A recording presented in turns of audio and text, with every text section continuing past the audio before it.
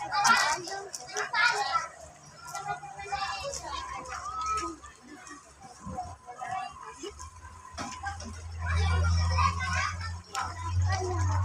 sayur ini. Udah ditaruh ini bakar. Bakar ini ini.